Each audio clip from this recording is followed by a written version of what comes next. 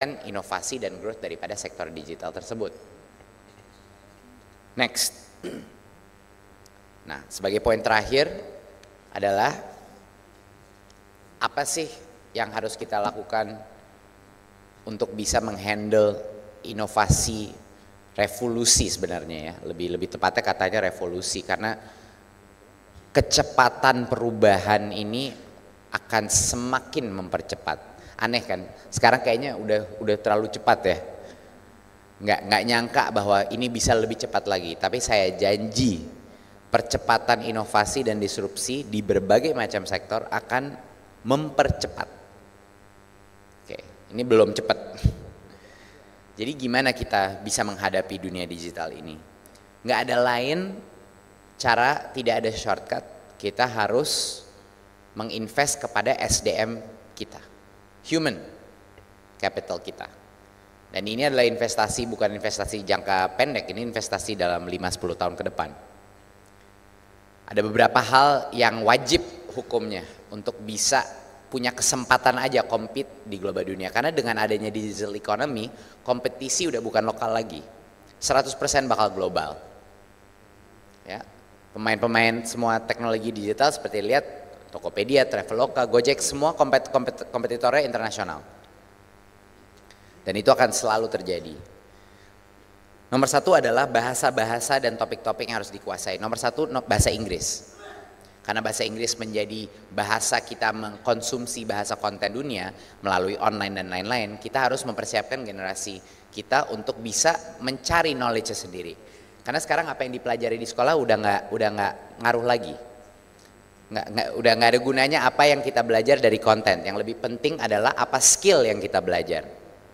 Bagaimana cara berpikir bagaimana cara berstruktur bagaimana solving problems bagaimana cara berkolaborasi. Itu yang penting. Kontennya udah nggak udah nggak penting lagi. Terus terang saya mohon maaf bilang ini. Tapi memang secara itu tentu kalau mau jadi dokter mau jadi engineer dan lain-lain ada domain expertise yang harus ada. Tapi saya janji bahwa dalam 10-15 tahun semua pekerja harus merelearn setiap lima tahun. Semua orang udah pasti akan harus belajar ulang lagi tiap lima tahun karena perubahannya terjadi begitu pesat. Jadi bahasa Inggris adalah bahasa satu pun yang harus dikuasai. Nomor dua adalah bahasa coding atau programming.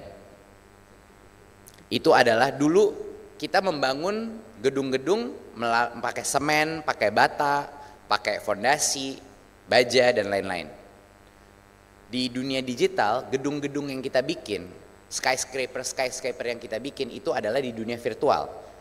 Jadinya kita butuh pembangun-pembangun dunia virtual ini yaitu coder. Kalau kita tidak bisa menguasai bahasa coding kita tidak akan bisa membangun dunia virtual kita ya. jadi itu kalau saya bilang sih harus mandatory di SMA Inggris dan coding. Dua lagi subjek yang sering banget yang saya bingung kenapa nggak diajarin di SMA dan kuliah sebagai mandatory. Satu adalah statistik. Di era digital hanya data yang berbicara. Di dunia digital hanya data yang berbicara sehingga kalau orang tidak bisa menganalisa data, orang tidak bisa melihat chart, melihat tren secara kritikal, dia akan terus dikibulin oleh data-data tersebut atau dia akan tertinggal. Jadi statistik adalah bahasa mengerti, mengakses data secara kritis. Itu adalah critical core skill yang benar-benar salah satu hal yang lacking banget di Indonesia. Dan yang terakhir adalah psikologi. unsur dari desain, unsur dari UX, UI, bikin aplikasi, bikin web, semua itu sebenarnya psikologi. Bagaimana kita mengengage suatu consumer, bagaimana kita mengengage suatu supplier di dalam platform kita. Dan psikologi itu aneh buat saya kenapa itu tidak menjadi mandatory course di SMA. Dan yang terakhir adalah nasionalisme sempit. Di opini saya, nasionalisme sempit itu lebih membahayakan untuk dunia pendidikan daripada ekonomi, lebih lagi membahayakan. Kalau kita tidak mengundang puluhan ribu engineer dan coder dari Silicon Valley, dari Bangalore, dari Beijing untuk bekerja di Indonesia secepat mungkin, tidak mungkin engineer Indonesia akan bisa mengkecap secepat itu. Kita harus bisa mengundang berbagai macam engineer dari, dari luar negeri untuk kerja berkarya di Indonesia sehingga ada teknologi transfer.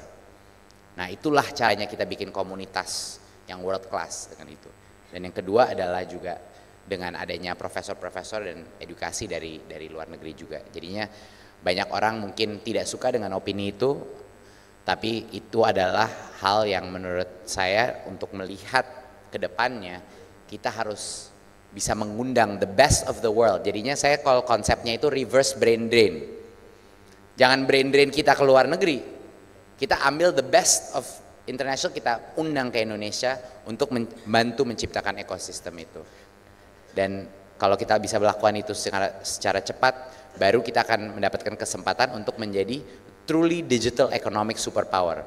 Karena potensinya sudah jelas ada di Indonesia kesuksesan Indonesia di Asia Tenggara itu sudah mutlak, sudah pasti kita jadi digital player terbesar. Tapi apakah kita bisa beyond itu?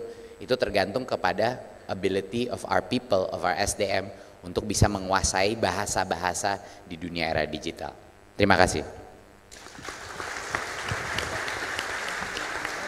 Thank you.